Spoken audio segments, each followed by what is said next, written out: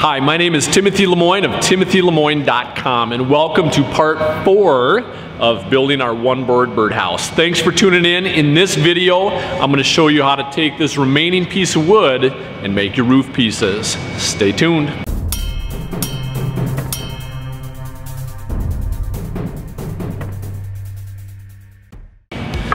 So this video takes us back over to the table saw, but this time things are a little bit different. This time, our blade's at an angle. This is gonna allow the two pieces to come together and form a peak. Nothing really different as far as technique goes. You're still passing your board all the way through. Speaking of which, the remaining board should be approximately 24 inches long before you pass it through. I'm gonna do that next. Check it out.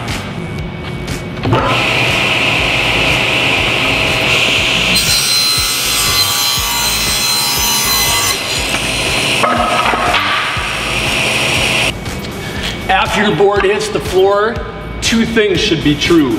One, you've got an angled cut on your board, and two, you have one little scrap piece that you pulled off the saw. Over to the miter saw next, guys. Oh no, did I say or miter saw next? I meant we gotta measure and mark.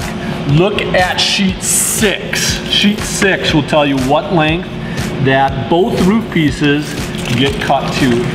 I like to measure from both ends of the board. It saves me time.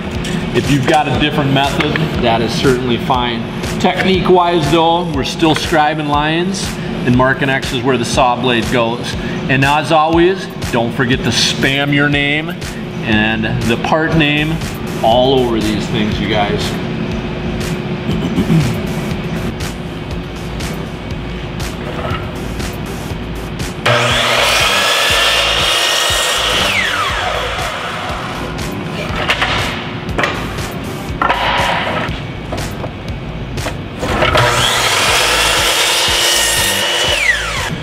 That is it for part four. It's a super short one. All we had to do is get our roof pieces cut.